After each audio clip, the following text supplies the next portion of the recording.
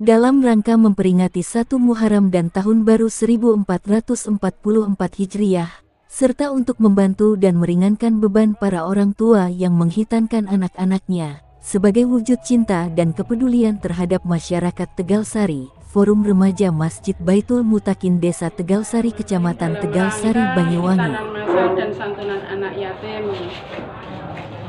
Terus langsung ada doa banyak lima orang. Terus yang kitaran masal tujuh orang.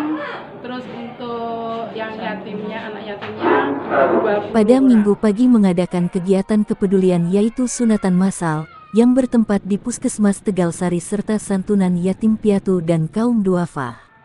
Kegiatan ini diawali dengan mengajak berkeliling dari dusun ke dusun dengan mobil kereta odong-odong. Peserta pun tampak gembira mengikuti arak-arakan menjelang hitanan dan sunatan massal yang akan diadakan di Masjid Baitul Mutagin. Anak yang mengikuti hitanan massal gratis tersebut merupakan anak berusia rata-rata 5-10 tahun, yang merupakan persyaratan utama si anak yang diikut sertakan dalam sunatan masal ini, tetapi pada dasarnya panitia tetap memberikan kesempatan kepada warga masyarakat desa Tegal Sari. yaitu kita mengadakan kita masal dengan Baitul Hakim bekerjasama dengan uh, Ketua Takmir Masjid Baitul Mutakin kesempatan ini kita mengadakan memang uh, kita adakan setiap tahun sekali karena di pandemi kita tertunda selama tiga tahun sehingga bisa terlaksana lagi.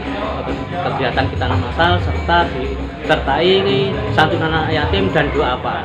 Pada hari ini yang kita kita di Masjid Baitul Mutakin yang pelaksanaannya diadakan di Puskesmas Tegal Sari sejumlah tujuh orang. Harapan kami ke depannya lebih baik lebih banyak lagi sehingga bisa sangat membantu kepada warga masyarakat khususnya warga desa Tegalsari lingkungan Masjid Baitul Mutakin dukungan kepada seluruh warga serta donatur-donatur yang ada di wilayah Tegalsari insya Allah bisa sukses dengan lancar pada warga masyarakat lebih sadar lagi dengan adanya kegiatan kita kita masa yang ada di ke, ke Masjid Baitul Mutakin sehingga bisa membantu perekonomian masyarakat juga lebih baik lagi. tujuh orang anak yang mengikuti kegiatan hitanan masal gratis terdiri dari nama anak-anak yang dihitan.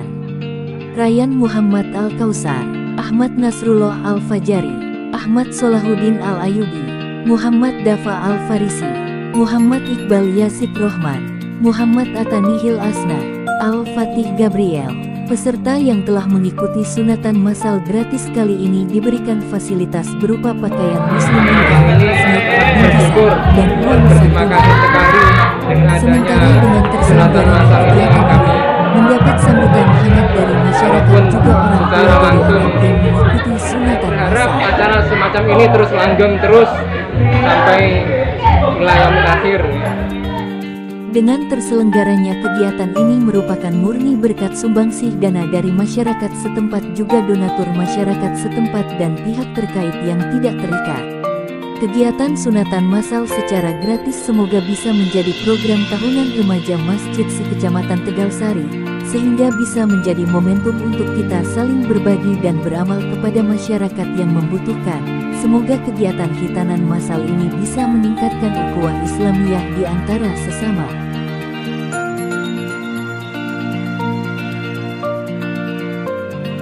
Ihsan Suryadi melaporkan dari Banyuwangi.